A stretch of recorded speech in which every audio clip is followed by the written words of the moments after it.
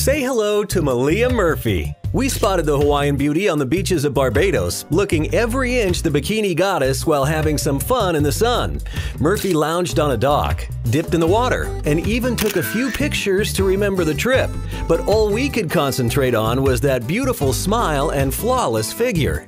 It looked like quite the relaxing vacation, and from what we can tell, it appeared she took full advantage of what the island had to offer. And now, we only wish we were there to keep her company.